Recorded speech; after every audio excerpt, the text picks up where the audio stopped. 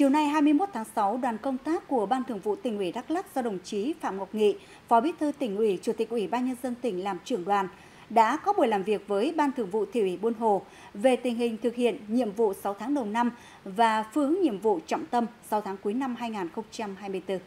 Tham gia đoàn công tác có các đồng chí Ibianie, Phó Bí thư tỉnh ủy, Huỳnh Thị Chiến Hòa, Ủy viên Ban Thường vụ tỉnh ủy, Chủ tịch Hội đồng Nhân dân tỉnh. Trong 6 tháng đầu năm, tình hình kinh tế xã hội của thị xã Buôn Hồ tiếp tục phát triển ổn định. Hầu hết các chỉ tiêu đều tăng cao so với cùng kỳ năm trước. Tổng giá trị sản xuất ước thực hiện 4.673 tỷ đồng, tăng 13,4% so với cùng kỳ năm 2023. Thu ngân sách nhà nước được 80,75 tỷ đồng, đạt 75% dự toán tỉnh giao.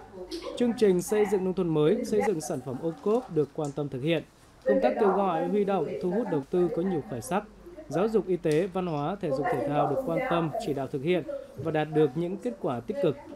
Các chính sách an sinh xã hội được triển khai thực hiện kịp thời. An ninh chính trị, trật tự an toàn xã hội trên địa bàn thị xã được đảm bảo. Công tác xây dựng đảng tiếp tục được quan tâm triển khai thực hiện, bảo đảm yêu cầu trong tình hình mới. Thực hiện nghị quyết đại hội đại biểu Đảng bộ thị xã Buôn Hồ lần thứ 16, nhiệm kỳ 2020-2025, Đảng bộ, chính quyền và nhân dân thị xã đã đoàn kết, khai thác tốt tiềm năng lợi thế, đạt nhiều kết quả quan trọng. Hầu hết 21 nhóm chỉ tiêu đề ra đều cơ bản đạt theo kế hoạch. Để chuẩn bị đại hội đảng các cấp, tiến đến đại hội đảng bộ thị xã Buôn Hồ lần thứ 17, nhiệm kỳ 2025-2030, Ban Thường vụ Thị ủy đã chỉ đạo các cơ quan đơn vị địa phương ra soát bổ sung quy hoạch cấp ủy và cán bộ lãnh đạo quản lý các cấp để chuẩn bị nguồn nhân sự, đồng thời thành lập ban chỉ đạo các tiểu ban phục vụ đại hội. Phát biểu tại buổi làm việc, đồng chí Phạm Ngọc Nghị, Phó Bí thư tỉnh ủy, Chủ tịch Ủy ban nhân dân tỉnh Đắk Lắk ghi nhận và đánh giá cao những kết quả mà Đảng bộ, chính quyền và nhân dân thị xã Buôn Hồ đã đạt được trong thời gian qua. Đồng thời đề nghị thời gian tới, Ban Thường vụ Thị ủy Buôn Hồ tiếp tục cố gắng nỗ lực lãnh đạo, chỉ đạo, thực hiện hoàn thành và vượt mức kế hoạch, chỉ tiêu đã đề ra trong năm 2024, cũng như nhiệm kỳ 2020-2025. Quan tâm chỉnh trang phát triển đô thị theo hướng văn minh hiện đại, tập trung chỉ đạo sản xuất nông nghiệp bảo đảm kế hoạch gắn với chuyển đổi cây trồng phù hợp, tiếp tục đẩy mạnh thực hiện các giải pháp thu ngân sách hiệu quả bền vững, tập trung đôn đốc triển khai thực hiện các công trình dự án và giải ngân vốn đầu tư xây dựng cơ bản, bảo đảm tiến độ đề ra, đồng thời tăng cường củng cố, giữ vững quốc phòng an ninh, tiếp tục thực hiện tốt công tác xây dựng đảng, hệ thống chính trị, làm tốt công tác chuẩn bị đại hội đảng bộ các cấp nhiệm kỳ 2025-2030. Nhân kỷ niệm 99 năm Ngày Báo chí Cách mạng Việt Nam 21 tháng 6 năm 1925, 21 tháng 6 năm 2024, sáng nay 21 tháng 6, đoàn công tác của tỉnh do đồng chí Hờ Lim Nie, Ủy viên Ban Thường vụ tỉnh ủy, trưởng ban tuyên giáo tỉnh ủy làm trưởng đoàn đã đến thăm chúc mừng Đài Phát thanh và Truyền hình Đắk Lắk. Thay mặt lãnh đạo tỉnh Đắk Lắk, đồng chí Hờ Lim Nie, Ủy viên Ban Thường vụ tỉnh ủy, trưởng ban tuyên giáo tỉnh ủy, gửi lời chúc mừng tốt đẹp đến cán bộ, viên chức, người lao động, Đài Phát thanh và Truyền hình Đắk Lắk nhân kỷ niệm 99 năm Ngày báo chí cách mạng Việt Nam. Đồng chí ghi nhận đánh giá cao những đổi mới sáng tạo của đài trong thời gian qua, đóng góp quan trọng vào nhiệm vụ tuyên truyền, chủ trương đường lối của Đảng, chính sách pháp luật của nhà nước, các thành tựu phát triển kinh tế xã hội của địa phương, góp phần quảng bá hình ảnh, tiềm năng lợi thế của Đắk Lắk đến bạn bè trong nước và quốc tế. Đồng chí Hà Lim Nie mong muốn Đài Phát thanh và Truyền hình Đắk Lắk tiếp tục phát huy ưu điểm, đẩy mạnh đổi mới công nghệ, thực hiện nhiều tác phẩm báo chí chất lượng cao, chủ động đấu tranh phản bác các luận điệu, quan điểm sai trái thù địch, góp phần bảo vệ nền tảng tư tưởng của Đảng. Thời gian tới cần tuyên truyền đậm nét các hoạt động hướng tới kỷ niệm 120 năm ngày thành lập tỉnh Đắk Lắk. Thay mặt lãnh đạo đài, đồng chí Trần Văn Hiền, giám đốc Đài Phát thanh và Truyền hình Đắk Lắk cảm ơn lãnh đạo tỉnh đã luôn quan tâm, tạo điều kiện để đài thực hiện tốt nhiệm vụ được giao. Mong muốn thời gian tới, lãnh đạo tỉnh và các sở ngành tiếp tục quan tâm đầu tư, tạo điều kiện để Đài Phát thanh và Truyền hình Đắk Lắk đổi mới công nghệ, chuyển đổi số phát thanh truyền hình. Đồng chí khẳng định tập thể Đài Phát thanh và Truyền hình Đắk Lắk sẽ không ngừng nỗ lực cố gắng đổi mới sáng tạo, bắt kịp xu hướng, nâng cao chất lượng chương trình, phục vụ tốt hơn nữa nhiệm vụ chính trị được giao. Sáng nay 21 tháng 6, huyện Chư Quynh đã tổ chức đại hội đại biểu các dân tộc thiểu số lần thứ tư năm 2024. Năm năm qua, công tác dân tộc và triển khai các chính sách đối với đồng bào dân tộc thiểu số trên địa bàn huyện đạt được nhiều kết quả đáng ghi nhận. Thực hiện chương trình 135 với tổng kinh phí 4.717 tỷ đồng, huyện đã tiến hành đầu tư sửa chữa và làm mới 34 công trình phục vụ đời sống dân sinh thăm hỏi và tặng quà cho 178 lượt người có uy tín cho đồng bào dân tộc thiểu số với kinh phí hơn 104 triệu đồng. Đã tuyển dụng 83 công chức viên chức là người dân tộc thiểu số, chiếm tỷ lệ 19,4%. Đào tạo nghề cho 7.317 lao động là người đồng bào dân tộc thiểu số. Chính sách giáo dục và đào tạo, bảo tồn và phát triển văn hóa, công tác kết nghĩa với các thôn buôn đồng bào dân tộc thiểu số được quan tâm. Đại hội đã thông qua phương hướng nhiệm vụ công tác dân tộc giai đoạn 2024-2029 và hiệp thương cử đoàn đại biểu dự đại hội đại biểu các dân tộc thiểu số tỉnh Đắk Lắk lần thứ tư năm 2024. Lượng cà phê chế biến sâu của Đắk Lắk chỉ chiếm trên dưới 5%, con số này chưa tương xứng với giá trị ngành cà phê của tỉnh. Lượng cà phê chế biến sâu chỉ chiếm khoảng 5% là một tỷ lệ quá thấp. Gần đây nhất là niên vụ cà phê 2021-2022 và 2022-2023. Tỷ lệ cà phê xuất khẩu tăng lên đáng kể với trên dưới 380.000 tấn, trong đó chủ yếu vẫn là cà phê nhân, còn cà phê hòa tan chỉ chiếm hơn 5%.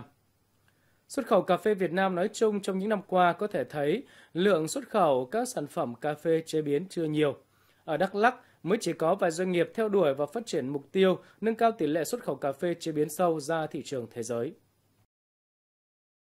Thưa quý vị và các bạn, cùng với báo chí cả nước, những năm qua các cơ quan báo chí trên địa bàn tỉnh Đắk Lắk đã không ngừng đổi mới và phát triển, phục vụ hiệu quả nhiệm vụ chính trị, phát triển kinh tế xã hội của tỉnh, từng bước đáp ứng nhu cầu thông tin đa dạng của người dân.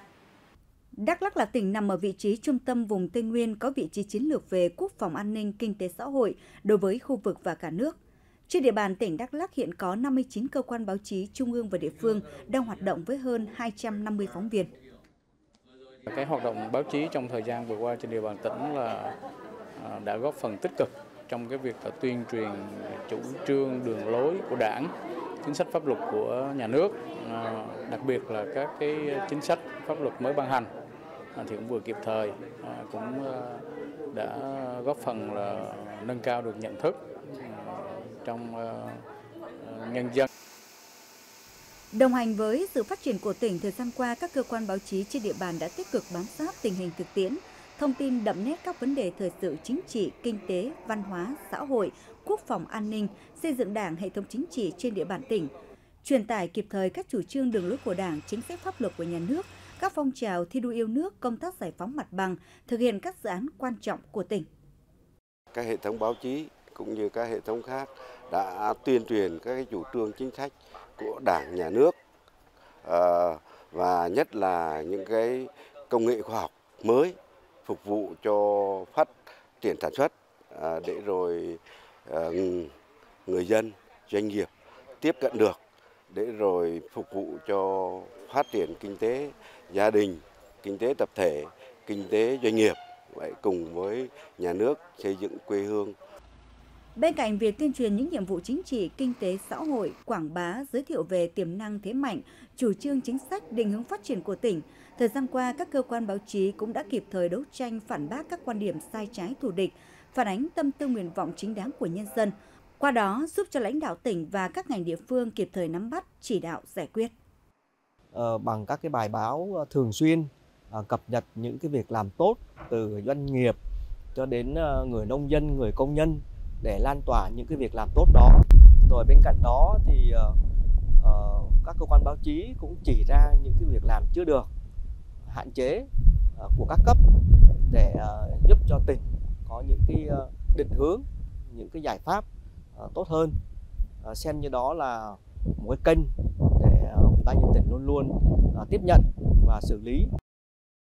Tự hào về truyền thống vẻ vang của báo chí cách mạng Việt Nam, đội ngũ những người làm báo tỉnh Đắk Lắk cả nhận thức sâu sắc trọng trách của mình trong thời kỳ phát triển mới tiếp tục thể hiện vai trò của người chiến sĩ sung kích trên mặt trận tư tưởng văn hóa, góp phần tích cực vào sự phát triển kinh tế xã hội của địa phương. Thưa quý vị và các bạn, ngoài việc kịp thời đưa các thông tin đến với người dân, thời gian qua những người làm báo tại tỉnh Đắk Lắk đã thực hiện tốt vai trò kết nối những tấm lòng vàng đến với những người nghèo khó, những mảnh đời kém may mắn trong xã hội. Thông qua các chuyên trang chuyên mục mang tính nhân đạo, từ thiện đã góp phần lan tỏa tinh thần tương thân tương ái, tính nhân văn sâu sắc và trở thành nét đẹp trong cuộc sống. Địa chỉ cho những tấm lòng vàng, nâng cánh ước mơ là những chương trình quen thuộc đối với khán thính giả của Đài Phát thanh và Truyền hình Đắk Lắk trong suốt 16 năm qua.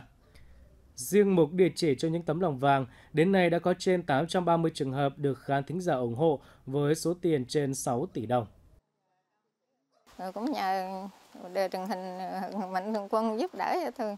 Rồi tôi lòn tôi ăn nó bôi vậy mà tôi đa tôi ớm thì có số tiền đây mua thuốc mà mang rồi uống chứ giờ. Em biết nó sao vậy. Cảm ơn đề truyền hình cảm ơn mạnh thường quân.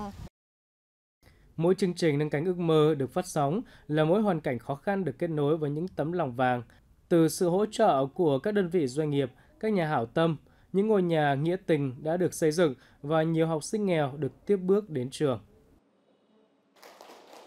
Cùng sự phát triển xã hội thì chúng ta phải có trách nhiệm được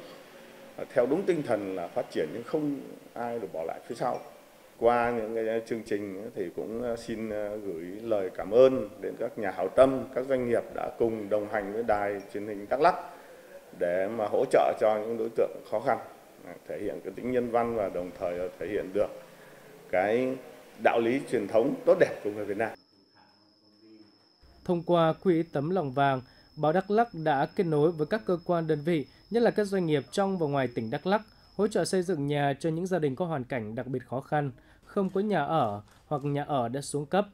Trong 5 năm qua, đã có gần 20 căn nhà được xây dựng, trị giá mỗi căn từ 60 đến 80 triệu đồng, đã giúp cho nhiều gia đình an cư lạc nghiệp. Cái đơn vị mà kết nối thôi, kết nối để rồi cả cái doanh nghiệp đó để đồng hành à, hỗ trợ thì à, bình quân hàng năm thì chúng tôi cũng xây từ 2 đến 3 căn nhà. À, qua cái địa chỉ tấm lòng vàng thì cũng rất là à, trân trọng cảm ơn những cái à, bạn đọc cũng đã đọc ừ, báo và thấy được những cái hoàn cảnh như vậy thì đã nhiệt tình ủng hộ.